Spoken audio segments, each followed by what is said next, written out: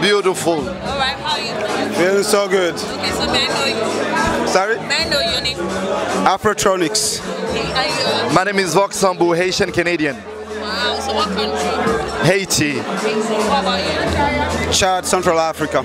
Wow, that's very interesting. So can you quickly just tell me what's the concept behind your attire tonight?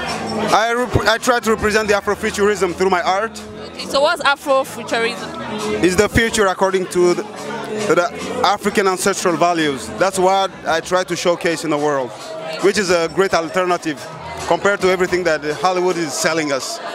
Yeah. Um, did you, did any of you get any nomination at Afrima this year? We came with a track called Akuna, which is a collaboration with Manno Beats, Vox, and I. And we got uh, two nominations. Welcome, welcome. Hello, hello, Nigeria. Hello, hello. Come on, let's know your name. My name is Manno Beats. I'm from Haiti. I'm represent tonight Haiti and Chad. Okay, is this your first nomination for tonight for Afrima ever? Have you been nominated before? I was the best African DJ last year. Wow, a Yeah, big I'm still- congratulations. Thank you very much. So this is my second. So, so you're coming with this high shoulder to take Exactly, the award home again. exactly. All right, what about you? Uh, is my first nomination. I'm a nominee in two categories: Best African Act in the Diaspora, Best Artist in African Electro. Wow. Yeah. I hope you will win. Yes, actually, big up to Afrotronix. Is the reason that we are here. Is one of the world African artists that collaborate with artists in the diaspora.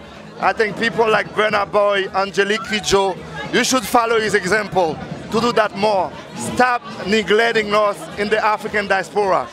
We want to come back home, and this is our home. So how do you guys feel getting this award?